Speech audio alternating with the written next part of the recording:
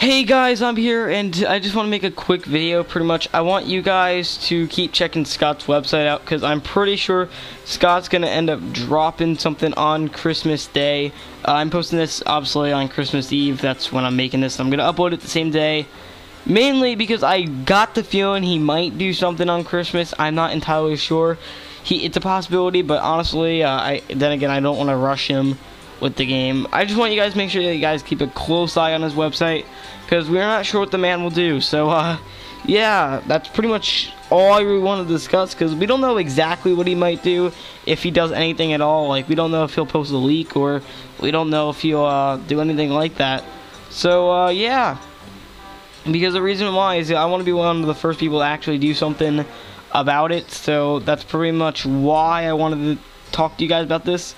So, uh, yeah, guys, I'll see you all next time. And, uh, peace out.